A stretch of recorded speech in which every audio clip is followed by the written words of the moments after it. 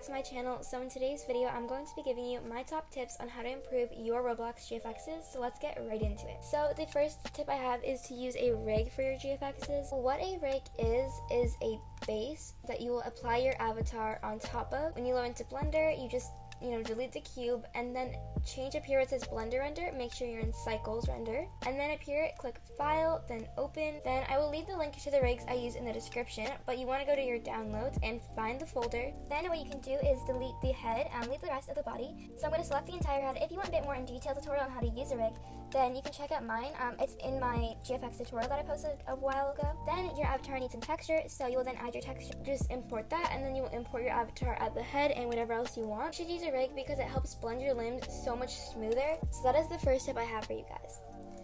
The second tip I have also has to do with rigs, but it is how to use multiple rigs. So what you need to do is import the same rig you just used and what you need to do is then just delete the head just as always. So once you have deleted the entire head, what you want to do is scroll down to the bottom and what you want to do is select this person button next to the rig. So now everything is selected. Then press shift to be able to select all of the body. Then press Command C or Control C if you're on a Windows, and then Command Z or Control V depending on if you're a Mac or a Windows. So then this will happen. I know it looks confusing. So use this arrow tool down here and just drag the rig over for a second. Then you want to find the part where it says rig 0.001 and you click plus and then click pose. It's gonna be a little confusing at first, but I promise you'll get to it. So click pose and once it's all selected, you have to drag the rig back over because there's all of this extra stuff at the bottom that we don't need. So to delete it, you can just use control and dragging and then you can select as much as you want. And once it's all selected, you can delete by pressing X. Then it's super easy from here on out. Just import the mesh onto both of them. So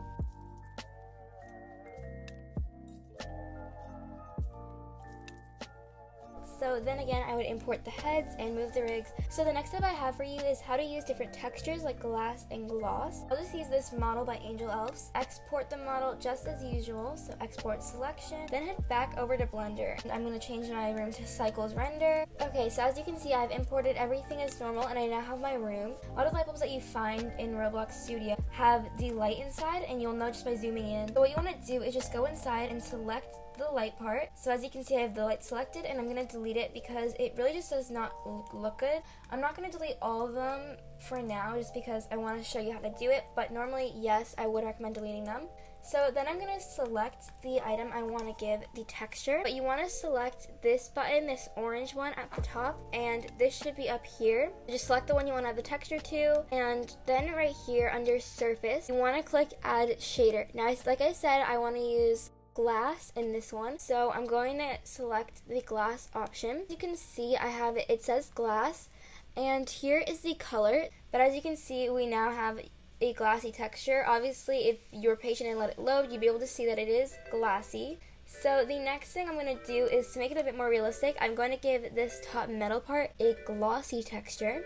And again, it is preset to white. I'm to make this a light metal color. It's um, dimension, texture, and realism to your GFXs. But yeah, as you can see, it's still a little blurry, but I'll put an example on the screen of what one would look like.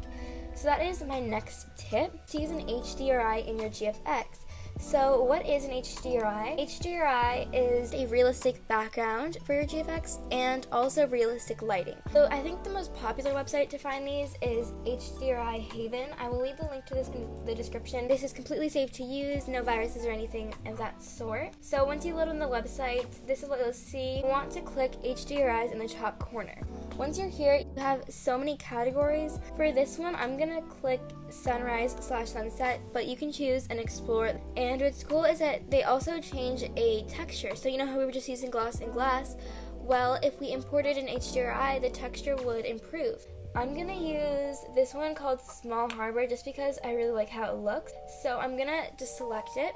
And once you're on the page, basically this is the background you will get in Blender, and this is what the textures, this is what they will look like. And there's a download. I download the 4K version, so let it download, and as you can see, this one is called Small Harbor. So now I'm going to go into Blender, and I want to import this HDRI.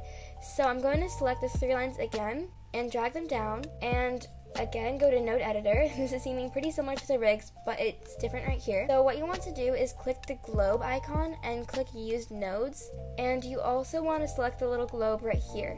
So now basically what this does is puts you in the node editor for the world. So then click shift and A and click search and you want to type in environment texture and just place it wherever you want. This yellow dot and you want to drag it and connect it to this yellow dot right here and click open and go to your downloads and you want to find the HDRI that we just downloaded. So as you can see right over here Okay, so I just found my HDRI and I'm going to select it and open the image. Okay, so now what I'm going to do is I'm just going to look over here just to show you what it would look like. So I'm going to go back into the rendered view and let this load.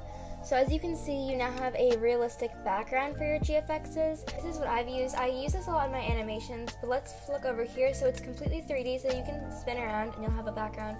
Let's go over here and this is what it'll look like. Okay, so as you can see, we now have a fully 3D background for our GFXs, and it looks pretty cool.